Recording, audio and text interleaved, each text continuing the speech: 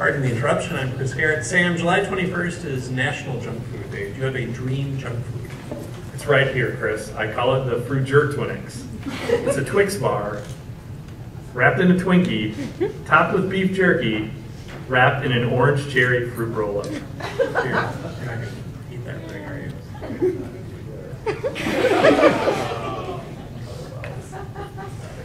That's disgusting.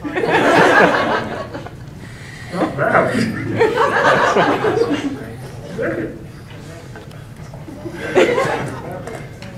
Wow. It's on late. It's a late charging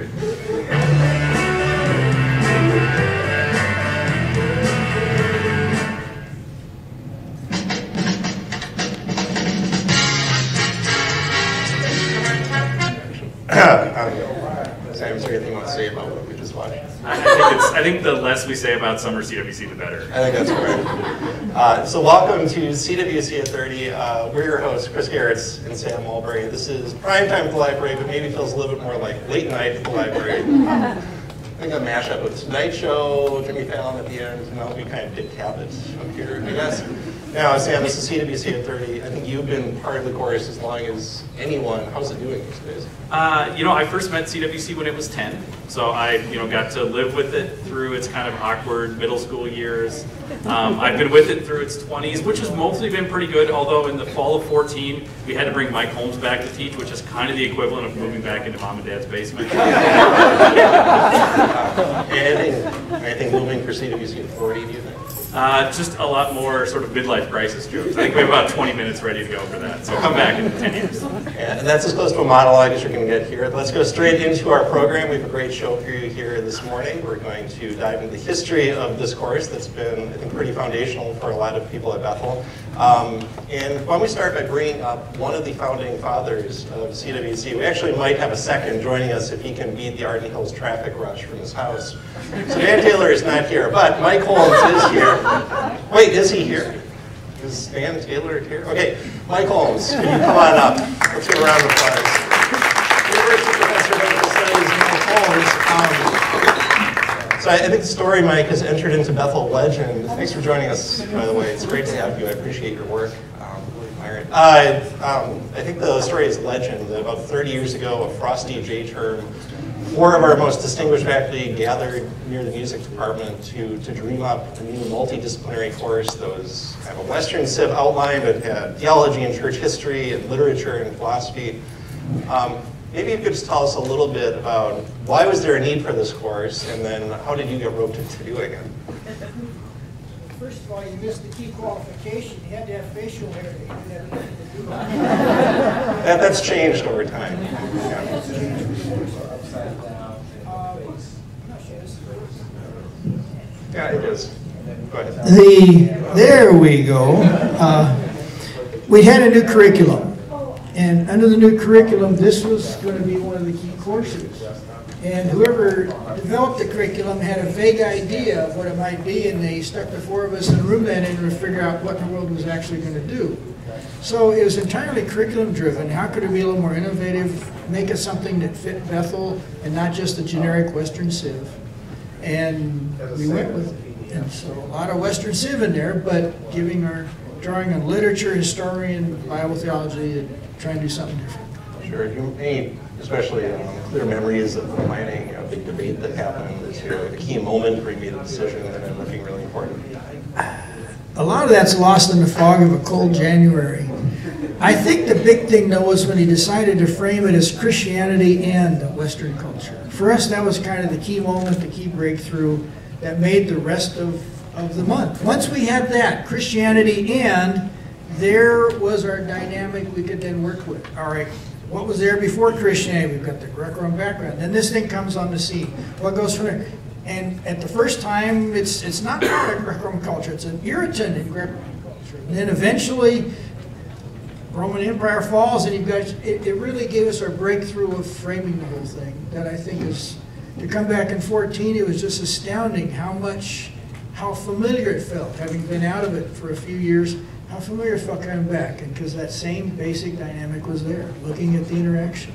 So did you teach it right away, or did you come back to it after? Uh, we planted in, in an urban pilot tested it that spring, and I did it 85 through about 88, and then took off for sabbatical and came back for about another four-year stretch, and then off and on since then. So for that first years, I was pretty heavily involved in it, yeah. So, I mean, one of the distinctives for faculty the course is you teach outside your fields pretty quickly. So you're, you know, obviously you give early church lectures, but do you have a favorite lecture going beyond your field of expertise? Outside our field, that's, for me, is never the case. I majored in history and, as an undergrad in 19th and 20th century Europe and America, so this was kind of coming back to old territory. Uh, in the early years, one of my favorites was the Industrial Revolution one. And in more recent ones, the age of exploration and expansion have been some of my favorites. Uh, though I confess the Lutheran one's always fun, especially when I get to do Tietzelman's little song and dance on his uh, advertising slogan for selling indulgences and so on. Begging his students to make an indulgence. I know your father beat you, but help him out of purgatory anyway, you know. So. This is the box we used to have. This was the box. As soon as the coin in the coin box rings, the soul from purgatory upward springs, you know. When you're right in the face of some freshman male right there, he's pretty nervous. Especially when I've hiked. This was another one of my habits. I would always climb to the top of each aisle in 313 twice during the lecture.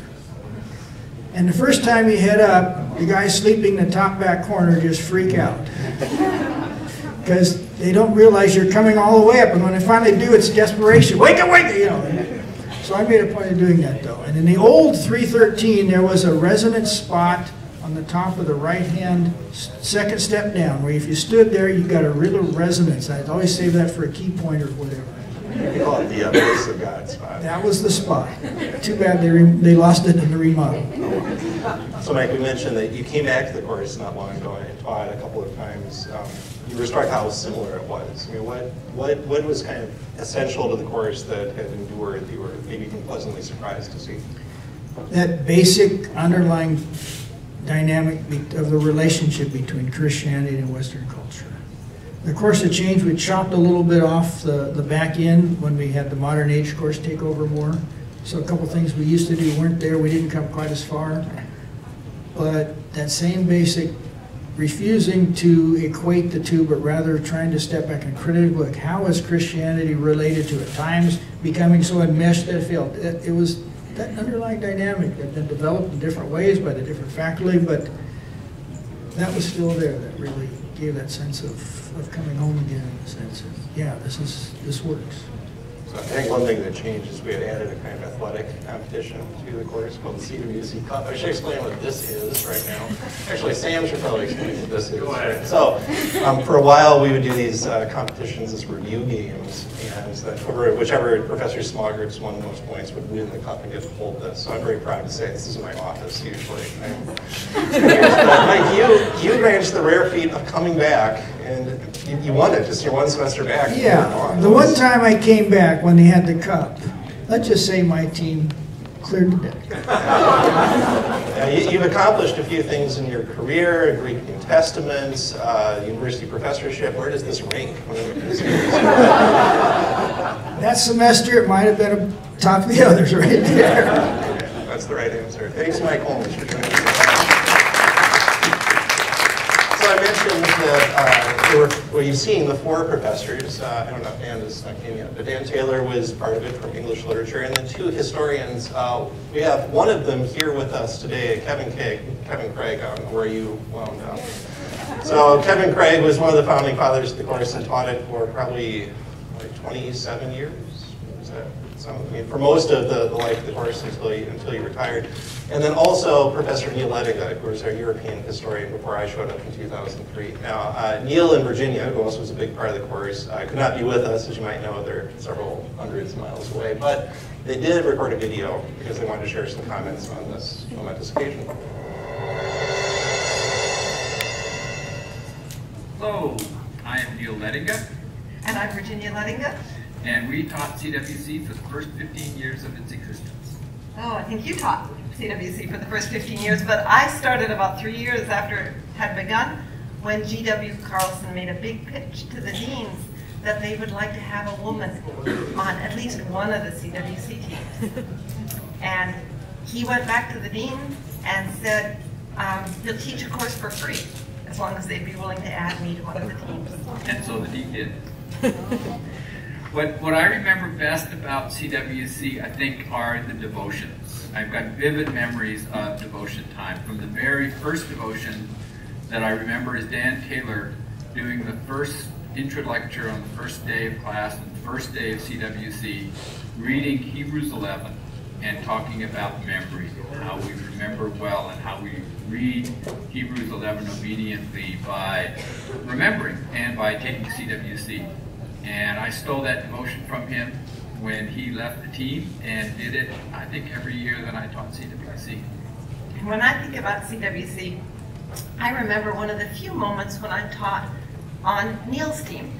We never were on the same team as one another, but there was a moment in which he was sick or he suddenly lost his voice or he was suddenly stuck in traffic, and I got roped into doing his lecture. And he was a lecturer I think I had done on my team, but I never used his notes.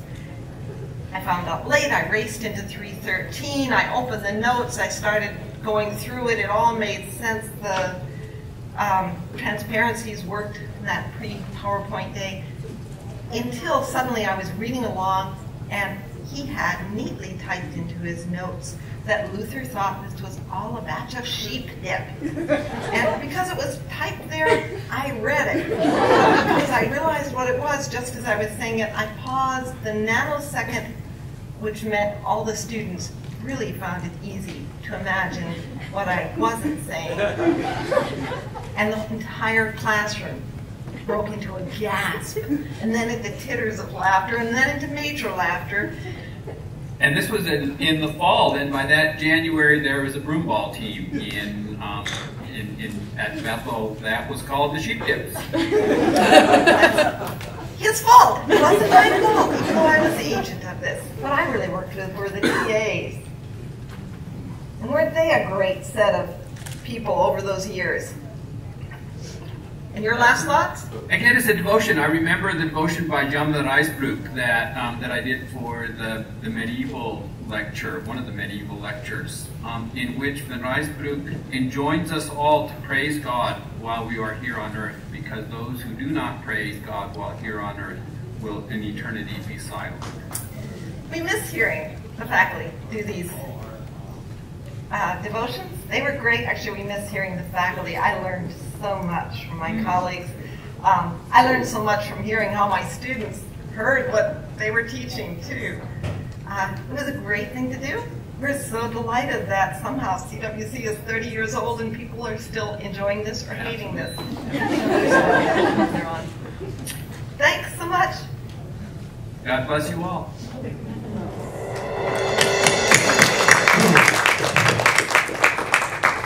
We really do appreciate Neil and Virginia taking the time to do that. I have to say, one of the things I really do enjoy about the course is the kind of archaeology of it. And I'm one of the people who does the Hebrew 11, uh, Hebrew 12 devotion. I, I had no idea this originated with Dan Taylor way back when I'd gone through uh, the others. Um, uh, Neil and Virginia, you probably know, we're, we're kind of the directors of the course for a long time. Sam and I inherited that about 10 years ago, and so there has been occasional jokes about we're the new married couple at CWC. Um, Sam, uh, 30th anniversary is what exactly? It's the Pearl anniversary. Just in case you wanted to, I'm expecting pearls. I'm not sure what the modern equivalent is, probably Bitcoin or something. Whatever you want to do, just so you know. Uh, uh, one of the themes of the course is that this gets handed off then from generation to generations. We brought up a couple of members of what was, in essence, Generation 2 or Generation 1B, I think, of the CWC faculty. Let's welcome Dan Ritchie and Paul Reasoner So, uh, Dan, I think there's an obvious question to start with here, which is, what was Sam like as a CWC student? You were a small group leader. Can you tell us what Sam Mulberry from Muscle at the time was like as a CWC student? I understand he maybe got one question wrong this whole semester. Can you verify or falsify that? Uh, I can verify that. I'm surprised he got any any uh, any any wrong at all. But uh, we did have. Um, I mean, you could tell the students who got it, and the ones who were just uh, getting by.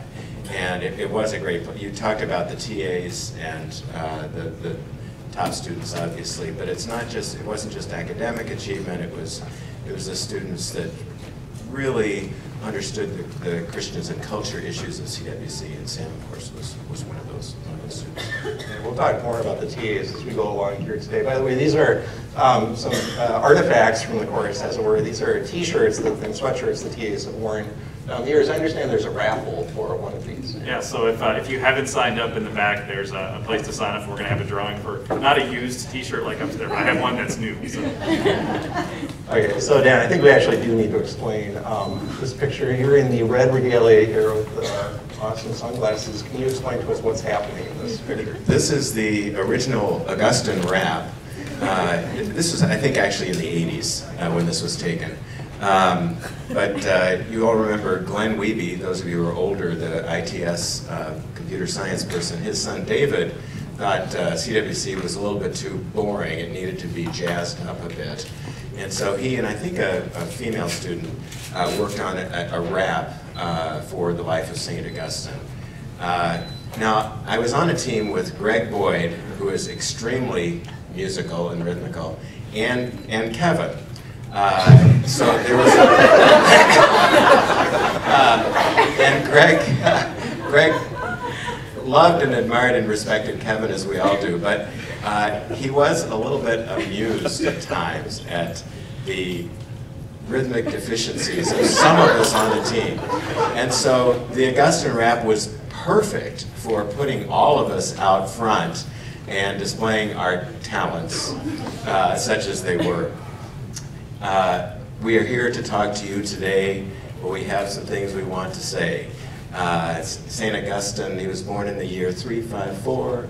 His, his mama was a Christian, but his daddy swore, and it went on from there. Uh, so that's us. Long before Lin-Manuel Miranda was having Jefferson and Hamilton do rap battles. Yes, You were using I am hip-hop so for- grateful for Hamilton. I can't. I wait for it to come to the Twin Cities.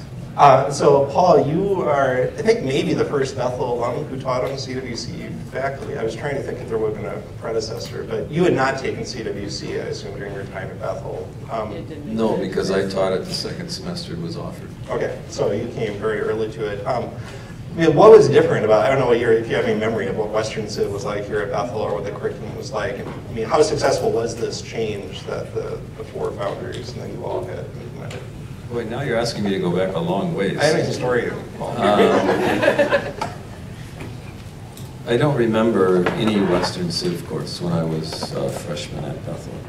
I remember um, freshman colloquy, uh, which was kind of, and later became intro liberal arts, and then writing and research. I taught some of those later, but um, they they tended to be thematic or or reading certain books that were maybe interesting or on hot social topics at the time, um, and had writing and some research involved, involved with them. But and we had interesting people come in. We used to read Potok um, a lot and other things like that. So nothing. I, I don't remember any.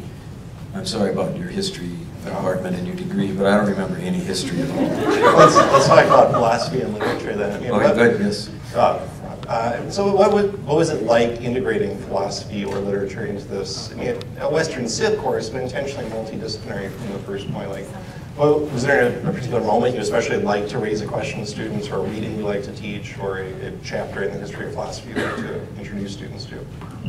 Um, I used to give the, the Plato, initial Plato lecture, and just as an aside, one of the, um, at least on my team, Dan and I were on opposite teams because I was taught with Roger Olson for years and years and years.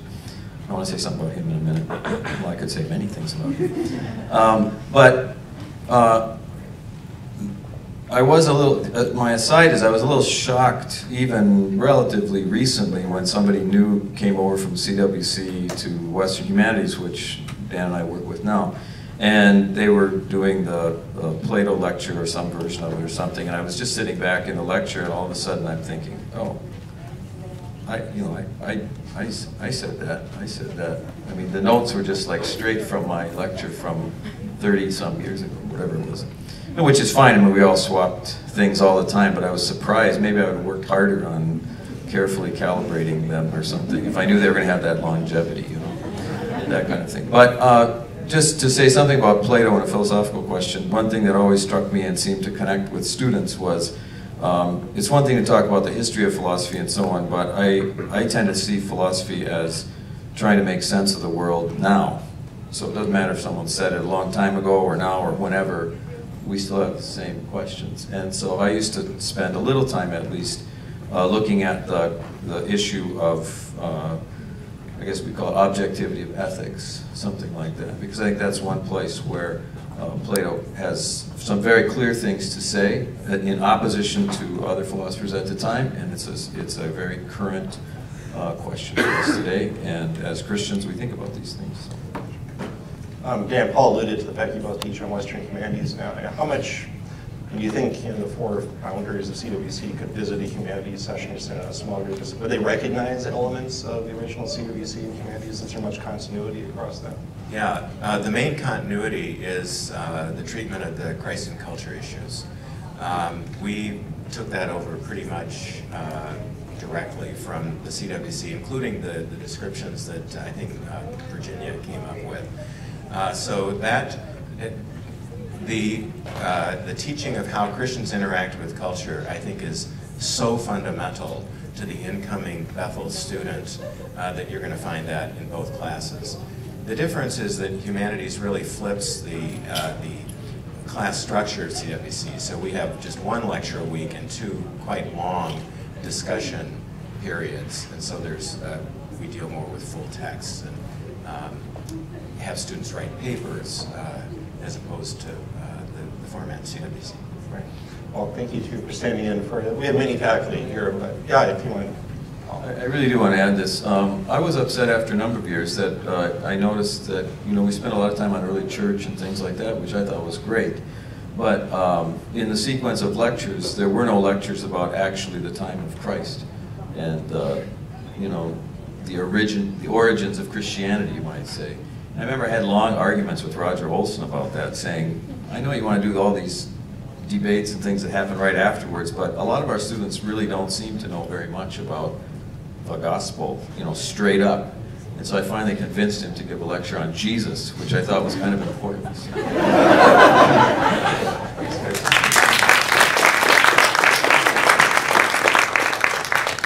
So Paul mentioned that one of the, uh, I think, probably a featured lecture every semester is the one on Plato and Aristotle. It's been given by many of our philosophers through the years. One especially famous version of it was given by David Williams, who was a Bethel alum, came back and taught here for a long time.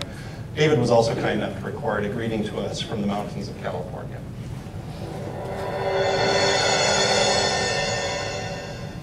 Hi CWC people, my name is David Williams. I taught at Bethel from uh, 1998 to 2006 and I'm now a professor of philosophy at Azusa Pacific University and I'm the executive director of the High Sierra program. I thought about rather than sending in a video, uh, it would be more appropriate since I taught CWC so long ago. It was so long ago that we used transparencies. So I thought maybe I should just send in a set of transparencies and someone could fire up an overhead. And then as seemed to be the rule, and I followed this rule, you couldn't reveal the entire transparency. You had to take a piece of paper and slowly slide it down. And I remember thinking it's like a striptease, like I'm just taking off just a little bit at a time, and I don't know if it was, you know, we had to keep it CW sexy, or I followed the rules. Uh, but no one even used PowerPoint then. That's how long it's been since I've been at Bethel.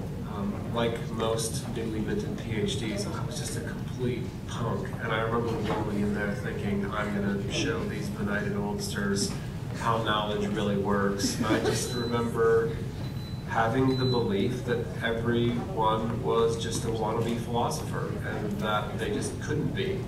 And they were struggling to try to do that, but um, I would lead the way. And I remember for the first time realizing, wow, there really is a difference between disciplines. Uh, I remember Thomas Becknell just raging about how literature was not adornment, and I thought, isn't that what it is? I could see that his passion to distinguish his discipline as not just something that people could treat um, philosophers namely, could treat as, well, we'll just clear out the literary stuff and get to the philosophical bits. That was eye-opening for me. The mentoring that I got in teaching a team talk course like that was incredibly annoying on some level. I don't know why we had to have so many meetings to produce. We would have these meetings to produce an exam, and then we would produce the same exam that we made for last semester, but it took hours of meetings to do it. Um, and I kind of chafed under that, but now I realize I realize how much it takes to actually make something happen with people from different disciplines and across disciplinary lines and across different fields and that those meetings were necessary. And it was fantastic mentoring. I mean, I loved CWC lectures. I loved giving them because the faculty were in the room and it was pressure. So you're a new faculty member and all these kids are in there and just the energy of that big room and knowing that uh, all the faculty are there and knowing that you're going to meet after the, uh, the lecture and they're going to critique it. And there wasn't, you know, there weren't a lot of punches pulled. I remember Mike Holmes telling me one time about a lecture on the scientific revolution that, I mean, his only comment, one typical Holmesian fashion, was that lecture occurred in a vacuum. And. I got great mentoring um, from my colleagues in the philosophy department, but it was like I had a whole other department and something that really sparked in me a love of moving outside of my own field and into other disciplines. And so I can't thank CWC enough for that. And it really sparked in me a love of interdisciplinary teaching, which is why I'm here. Um, and so I just want to exhort uh, my colleagues that are involved in the interdisciplinary thing. I think it is one of the great things that Christian colleges do we still have the resources. We have a lot of disagreements and we have um, to work hard to find common ground, but we do have that common ground in Christ. And I feel like it's one of the great resources that um, Christian colleges, that the, the, the, the Academy um, from, uh, from, from the Christian point of view has to offer the, the academic world at large. And it's kind of sad to see that as institutions chase secular success, that interdisciplinarity um, goes by the wayside because it's hard and it takes a lot of work and it takes a lot of commitment to deal with colleagues from across other lines. So I'm truly grateful to CWC. I hope you uh, keep rolling. Maybe you can check in with me for the 60th birthday, because I'll be 80 then. Um, but I will maybe make up a transparency and send it in. Blessings on all of you, and, um, and may God bless all your work.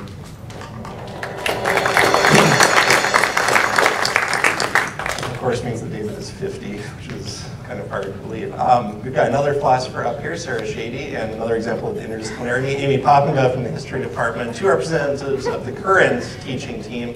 Actually, this is, we've tried to hear from a few professors. There are a lot of other professors here. If you have taught it, if you are currently teaching, could you please stand up? Or if you're in the humanities program, which I think we're also trying to fold into this, we'd like to just acknowledge you for the role you've done. So one of the things I appreciate most about CWC, as David said, it becomes almost like your second department. And in my case, it's where a lot of my best friends live. And at the end of, say, fall semester, you're a little bit um, goofy and you decide to take a Christmas card photo together uh, outside the admissions desk. And so it's, it's nice to end with, with a couple of our closest friends. Uh, Sarah and Amy, you're, I guess, from the newest iteration of this generational shift. Can you talk about what it's like to come into a course that in your case have been around for 20 plus years, the point you joined? Was, was it easy to come on, hard to come on? What was that transition like? Um, well, I'm really glad that they changed the requirement of facial hair, so that we, you know, that's much appreciated. Uh, you know, it was a challenge my first year to feel like well, I was trained as a philosopher, and now I'm becoming a person who teaches church history and uh, theology and, and, and, different things as well. But um, I was really, you know, um, agree with so much that David said. And David uh, was on the team that I was on my first year. And after my very first lecture, I thought I was going to throw up before I gave it. And then, uh, you know, David came with this handwritten set of notes, um, you know, critiques. And then I felt like I was going to cry. But, but really, the, the um, learning how to be a teacher and being mentored directly by having other colleagues with you in the classroom every day is one of the best things that could have ever happened in my career.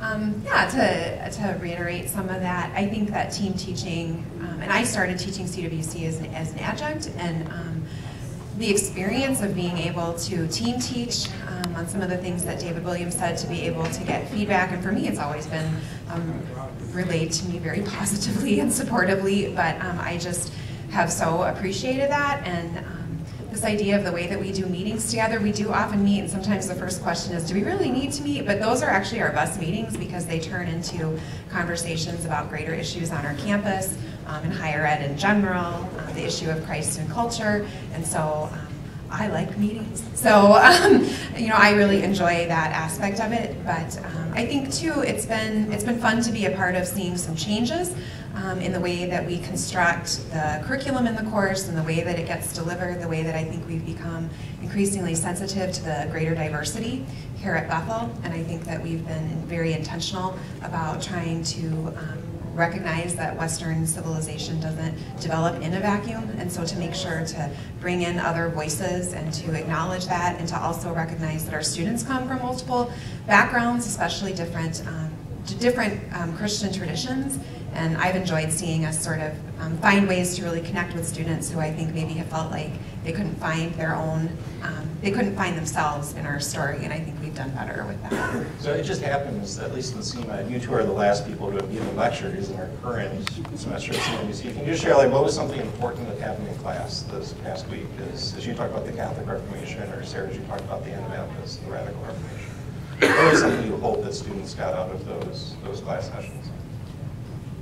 Well, I, I think that um, for me, so Catholic Reformation was on Monday. This, I don't want this to sound bad, but I, it, I think it's helpful in our current climate for students to recognize the, the divisions that have resulted in violence between Christian groups. Um, and that awareness of our own history, I think, um, helps them better um, at least explore or not understand, but at least problematizes for them the religious division and the religious violence that they see today. Um, and so the better they are aware of the divisions that have existed within our own um, tradition, uh, they recognize that we need to, um, that our, one, we need to, to think about who we extend compassion to and what that looks like, um, but the fact that it also needs to be done from a place of always asking our own community the same questions that we ask of other people's religious communities. Yeah, I think that uh, one of the really important things about the course, and I imagine this is true in humanities as well, is yes, we're teaching a whole lot of content uh, to establish an academic foundation for the rest of the Bethel education, but I think we're also teaching a lot of soft skills. Uh, social skills, the role of empathy when dealing with difference, um, study skills certainly. But I had the opportunity to teach on the Anabaptists on Friday, and that's a fun one for me because I grew up Mennonite, and so I get to tell silly stories from my, my own childhood and kind of put a face on the whole um, on the whole lecture. But but really, my subtext there is I want them to realize that just because someone seems really different on the outside, it's always important to understand how do they get to that conclusion? Why does this belief make sense?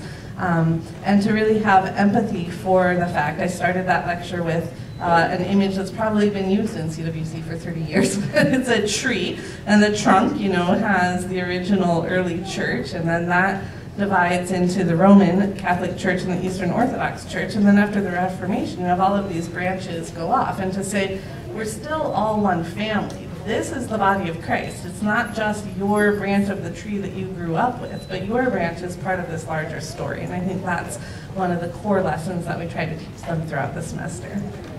Thanks, Sarah, for representing the So we don't have a lot of time to talk about it, but I do want to draw your attention to uh, something that will continue out from the celebration, is that Sam has been working closely with Kent Gerber, our digital library manager, Kent's up front here, to build a digital collection of uh, different kinds of artifacts from the 30 years of the course added to what's already a really stellar digital library. It's, you know, as a Bethel historian, it's really great to be able to think about researching the history of this institution through a class that's actually been around for generations, not just students, but faculty. And so I, I really encourage you to look at that. Sam's been sharing little pieces of it through his Thursday devotions that he shared via C faculty. I think one really exciting part of it is that Sam invested some time in collecting oral histories and some of the many teaching assistants who are part of the class. And so if you go to the digital library and you go to the CWC Authority collection, you'll find a tab at the top that says something like TA oral history.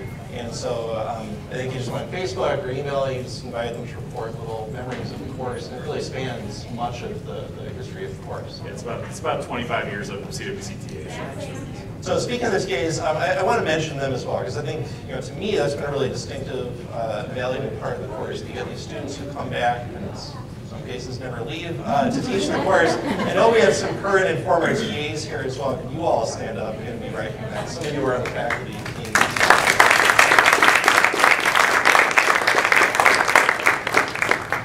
Um, one of the other things I think is nice about the digital library is that it means that uh, some some colleagues who can't be with here, be with us for other reasons are still here. Um, a lot of the media that's on the course already uh, comes from CWC The Radio Show, which is a podcast we did for several years that really started with uh, Stacy Hunter Hecht at the summer meeting said, hey, you should do CWC The Radio Show, and then was on this podcast for three years. And so um, that's there. She's been part of other things. Uh, and, and, so in a way, Stacy's memory has to live on through this uh, digital collection. I, I, just wanted to pause and acknowledge that amongst the other loss we've suffered, you know, we as a CWC family have been touched by, by Stacy's death.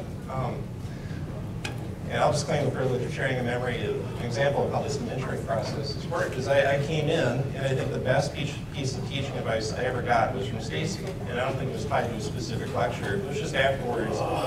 She said, you know, what teaching is, is, is learning how to magnify your personality. And especially in a big room like 313, you've got to fill it up. And often the students don't necessarily bring a lot of energy, and you've got to supply it. And you've got to learn to be the bigger version of yourself. And that's going to look different for each of us. But that, that always struck me as uh, just a profoundly true insight that you shared. And it's really, I think, affected my teaching in a lot of ways. And so we just wanted to take a moment to pay tribute to, to and the many ways in which she did the course as well. Um, before we move on to our last item, Sam, you want to go? Absolutely. So we have our CWCTA t-shirt here. Lots of names. The winner is Diana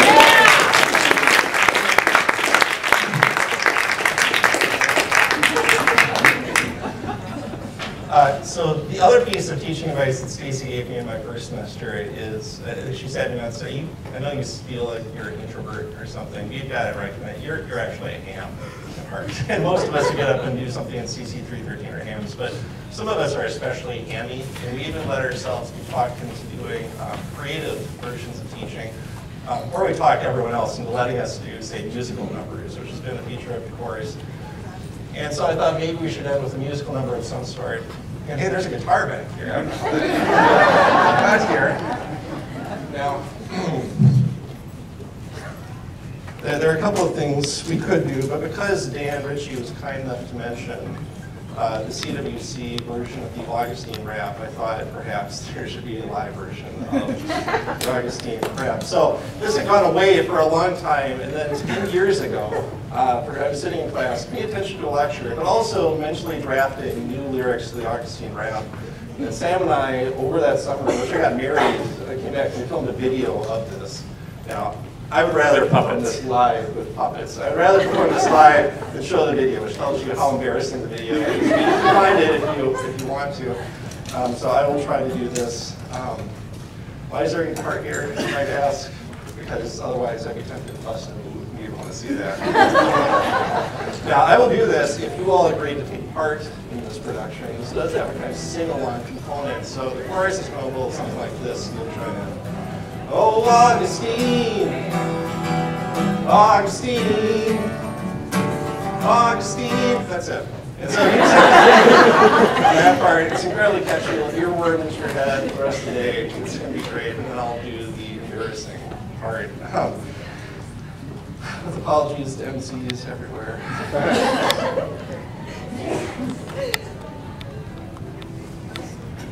Augustina Hippo dropped in 354. Constantina Garnacina was 30 years before. Og grew up hating on the prayer. See, his mama was a Christian, but his daddy was a pagan. On the midstreets of Tagaste, Adog on the tear. They called him Del Monte, cause he gotta have the pair. Player had his way with all the ladies. Until the girl said, boo, chill, we're gonna have a baby. Oh, Steve or Augustine, Augustine. Augustine. Yeah, he lustin', he lustin'. Augustine. But he's trusting, he's trusting. God made us walk himself, and our hearts will find the rest in him.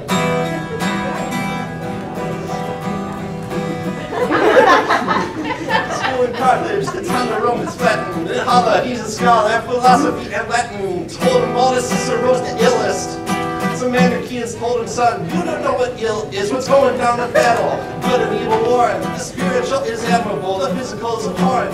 Thought to give them answers that were hidden.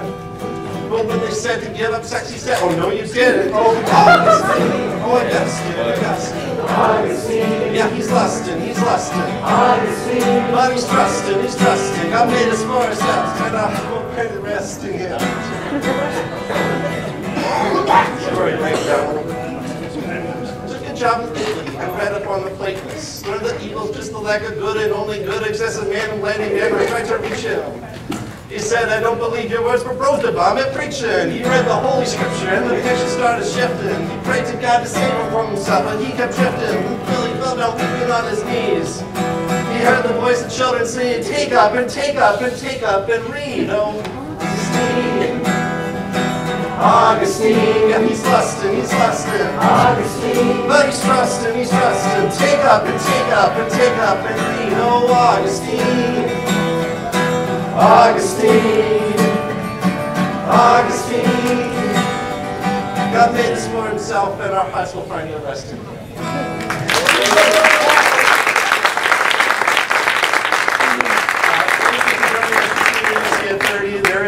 A ridiculous amount of cake over there. Please take two pieces. First, we need to thank a few people who are part of this. Um, the one name that's up there is the most important name, which is Sam Mulberry. Not only has taught this course for like 30, been this course for 30 semesters, but has really thrown himself into this presentation, the digital collection.